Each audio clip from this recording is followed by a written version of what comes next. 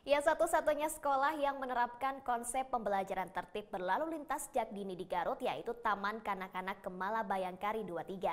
Selain mempunyai kurikulum khusus, sekolah ini dilengkapi taman lalu lintas lengkap dengan miniatur jalan raya dan rambu-rambu.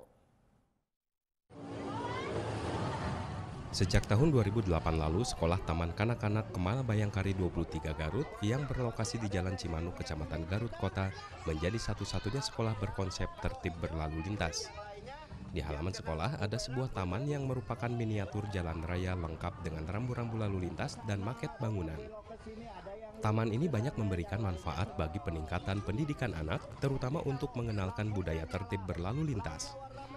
Dibantu personil polisi dari Satuan Lalu Lintas Polres Garut, para siswa tidak hanya belajar soal warna pada lampu lalu lintas, namun mereka juga belajar makna lampu tersebut. Para siswa juga dikenalkan beragam rambu-rambu lalu lintas lainnya, seperti tanda kawasan parkir, tanda larangan berhenti, jembatan penyeberangan, dan maket bangunan pemerintah. Kalau parkir di mana? tempat parkir Di tempat parkir. Kalau lampunya merah berarti kendaraannya berhenti. Di sekolah ini pun diterapkan kurikulum tersendiri yang berkaitan dengan tertib berlalu lintas. Tujuannya melahirkan generasi pelopor keselamatan berlalu lintas. Alhamdulillah respon dan kerjasama dari orang tua sangat baik, sangat eh, merespon kepada apa eh, tujuan atau pendidikan yang ada di TKP Kemala Bayangkari, yaitu khususnya pendidikan eh, tentang kepolisian.